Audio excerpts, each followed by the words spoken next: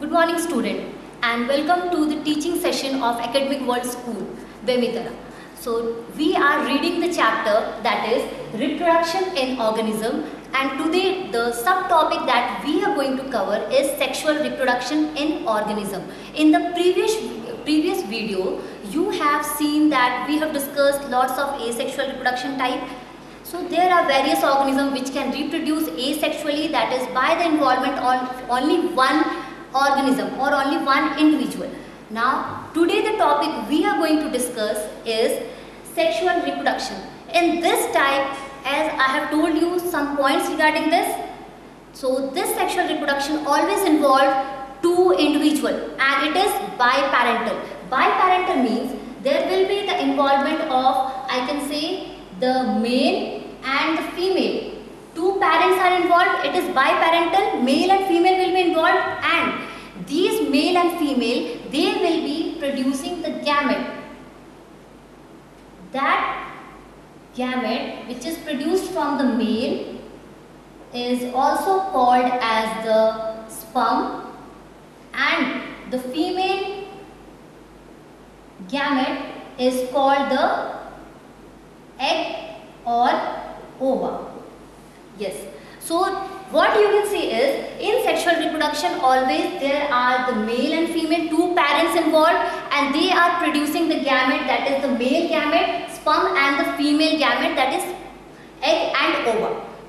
So this process of formation of gamete it is also called as gametogenesis. This is called as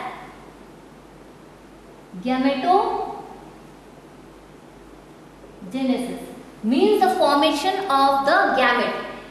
This gametogenesis, when the sperm formation takes place in the male, it is called spermatogenesis. Through the process of spermatogenesis, these gametes are formed. Through spermatogenesis. Through spermatogenesis, this sperm will be formed and through oogenesis, the egg or the ova will be formed.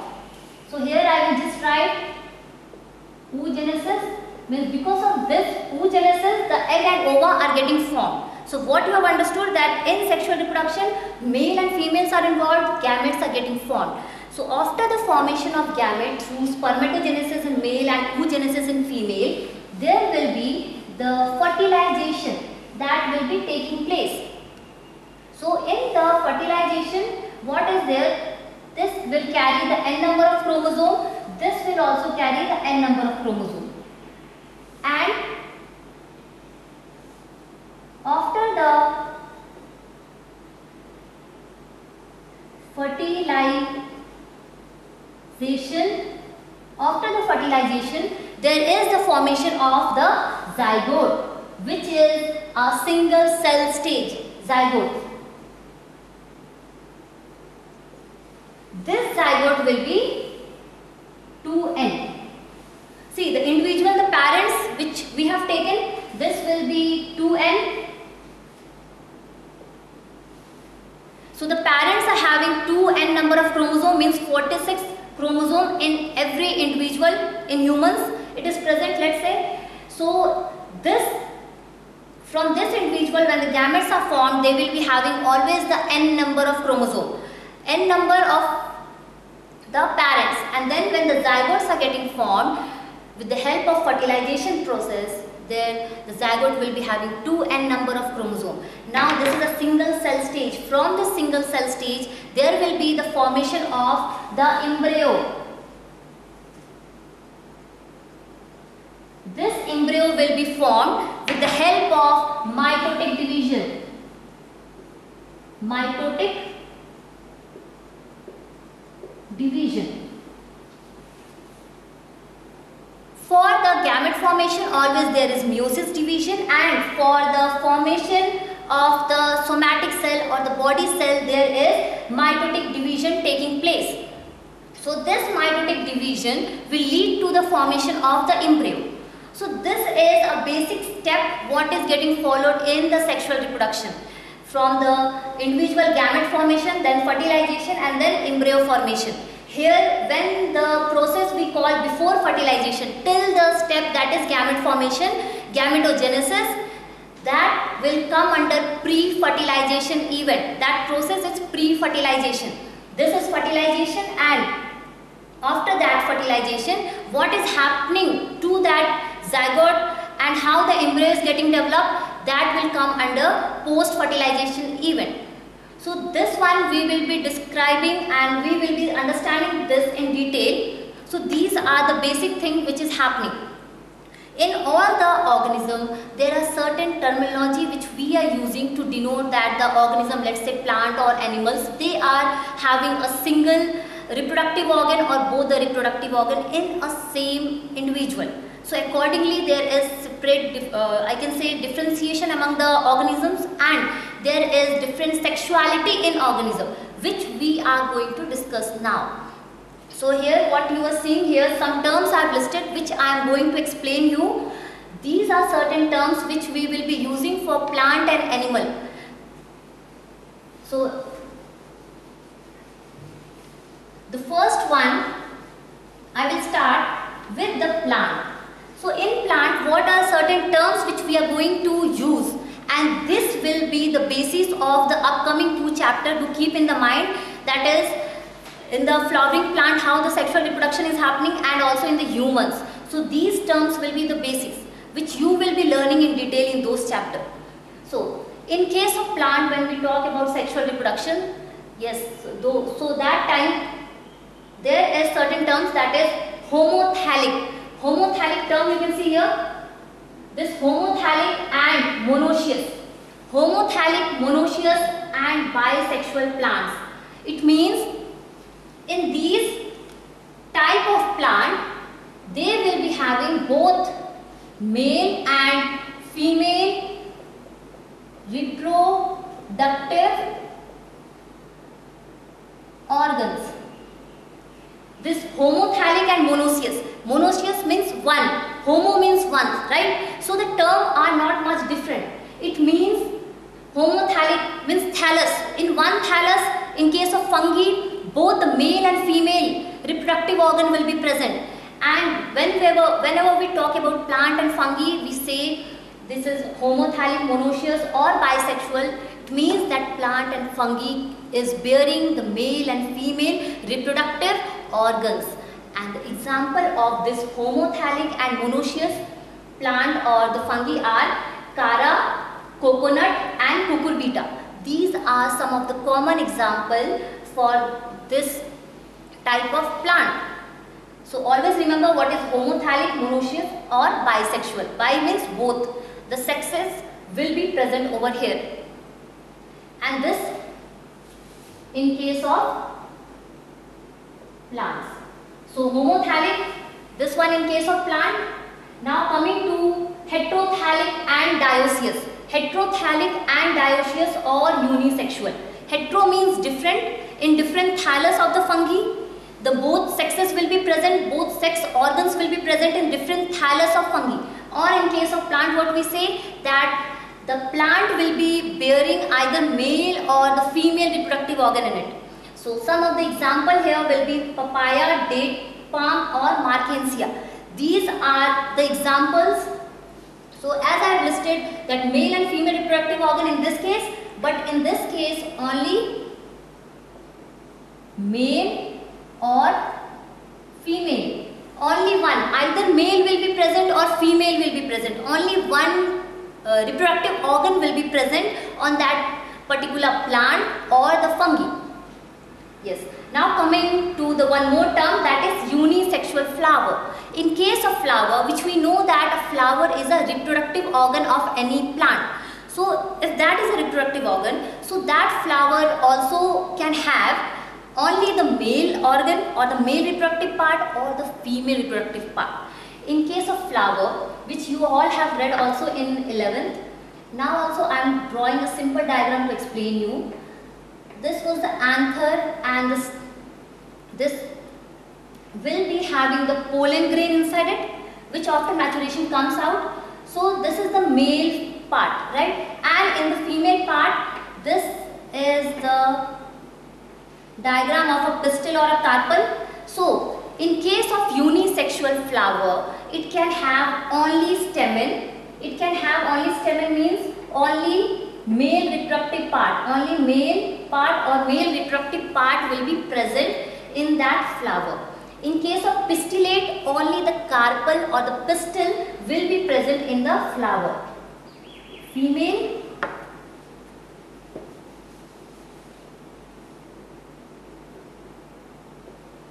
reproductive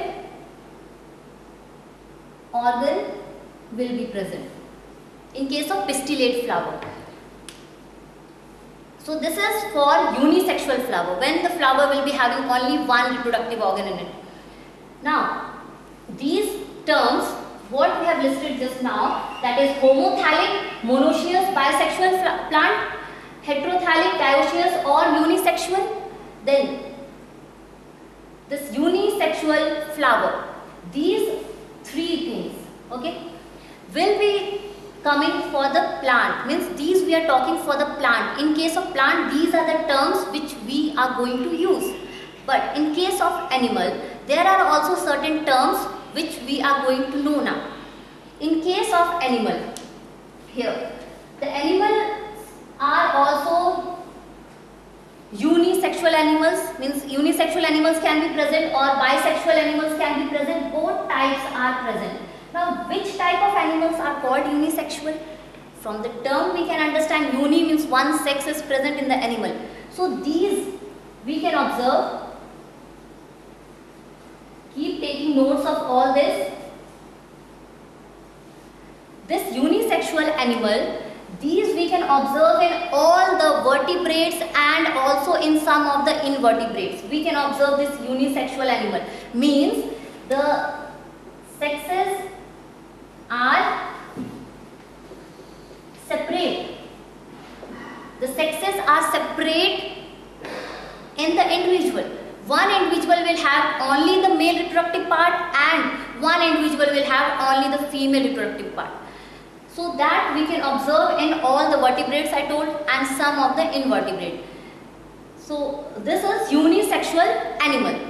Coming to the bisexual animals, see we are going through all the terms. So do listen to it what the term means which will be helpful for you all. This bisexual animals these bisexual animals are also called hermaphrodite. Hermaphrodite means both the male and the female. Both of it will be male and female. Both reproductive organs are present. In case of bisexual animal, male and female both reproductive organs will be present only in one individual. Those individuals are also called hermaphrodite and this animals can be, these are the example, earthworm, sponges, leech, tapeworm. These are some of the organisms which are also known as the hermaphrodite animals since they are having both the sexes in it. Their sexes are not separate as we have understood in unisexual animal. So these are about the different animals and plant how it is present. Now in case of animal we can see some of the cyclic changes in their body for the reproduction and these changes is uh, student I have told you one more thing that lifespan has certain phases. So in case of all the type I can say all the that phases or the types what I have listed you also all those stages vegetative or juvenile phase then there was the reproductive or the mature phase and one more was aging and senescence these phases are also observed in all the sexually reproducing organism. All the sexually reproducing organism will be having all these phases. Do remember here one thing that the juvenile word is used for the animals and vegetative phase this word will be used for the plants. And reproductive or mature phase it will be that duration when that organism or individual is mature enough to undergo reproduction process which is essential for the continuity of life. So, I told all this because now we are going to talk about the cyclic changes in the animal. Yes, see. Firstly, the females of placental animals, it means the female which will be having the placenta and that placenta will help for the conceiving of the newborn. So, females of placental animal exhibit cyclic structural and hormonal changes in the reproductive system. So, this changes, I hope you all have taken this note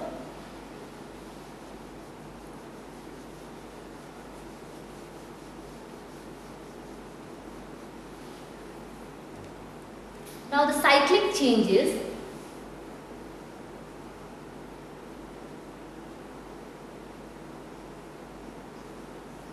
in animals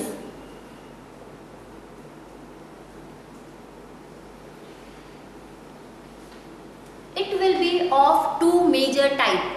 This cyclic changes, it will be of two type. One is called the estrous cycle and one is called the menstrual cycle. So this cycle undergo in the animals and the animals are different under which these changes are observed. In case of this estrous cycle, it occurs in non-primate. It occur in non-primate and this menstrual cycle it occurs in primate and here the example for the estrous cycle in which the organism will be undergoing this cyclic or this reproductive cyclic changes will be the cow, sheep, rat, etc. And this cyclic changes will be observed in case of apes, monkey, human. So what I told that all the female placental animals exhibit cyclic changes. So that cyclic means structural and hormonal changes in the reproductive system. They will be having the reproductive system, system the females will be having and those means cycles will lead to the changes in those reproductive system in the body and the hormonal change also takes place during this cycle. One is the estrous cycle and one is the menstrual cycle. These are the two cyclic changes which is observed in case of animals. Now, after this cycle, even there are organisms which don't breed continuously. Them they breed only seasonally and some of them breed in their sexual maturity time. When they are mature enough, they can reproduce. So accordingly, the breeding in animals, it is also of different type.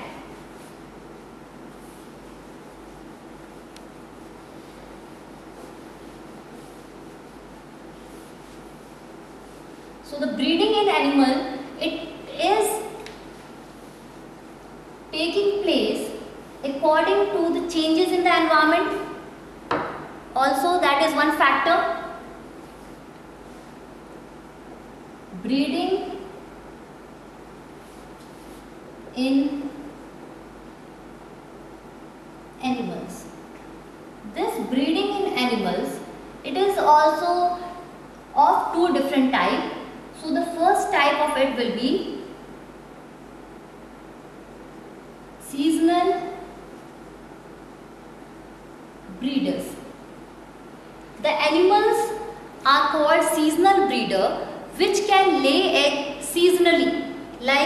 just some of the example like the animals, the animals like birds, lizard, frogs lay egg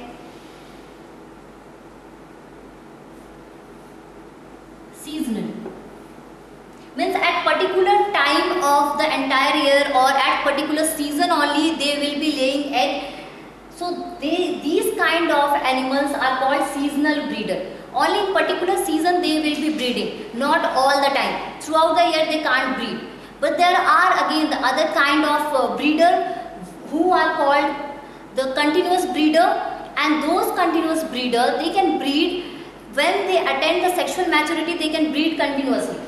So this is one type and the other type will be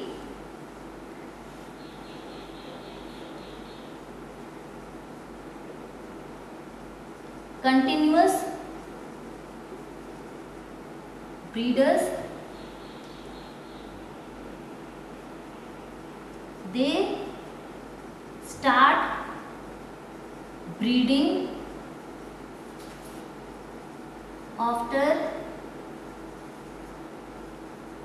attaining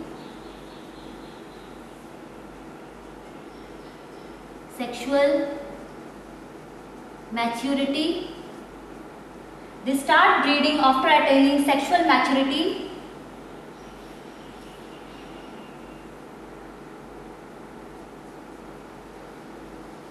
they can breed